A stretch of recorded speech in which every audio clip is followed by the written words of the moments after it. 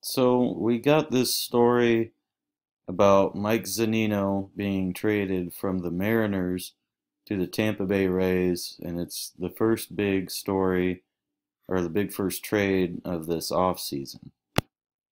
So the first thing we notice is his name, Mike Zunino, equals 56, and he was just traded from the Mariners, who are also 56.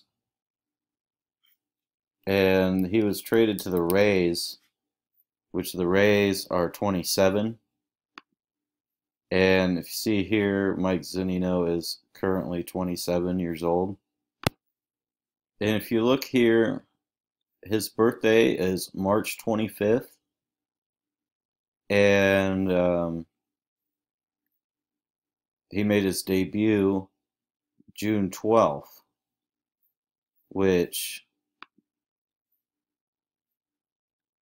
if you go to, if you add from his birthday to his debut date, it's two months and 18 days. And you can, if you put in his full name here, it's Michael Accorsi. I think that's how you pronounce it. Zunino, It equals 218. And if you look here, he's from Cape Coral, Florida. So we'll put in Cape Coral here. Cape Coral equals 52, just like Mike Zunino, 52. Now, you can even think about you know, Cape Coral is the CC, and you know the C is the third letter of the alphabet. He also wears number three.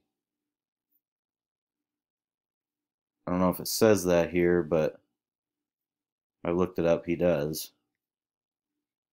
But yeah, I just looked into that real quick. Those are a few things I found. Peace.